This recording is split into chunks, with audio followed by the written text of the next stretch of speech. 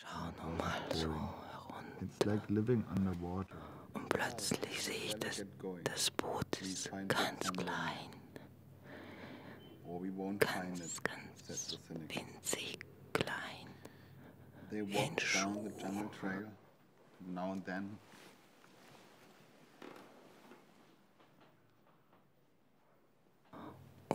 Und dann denke ich,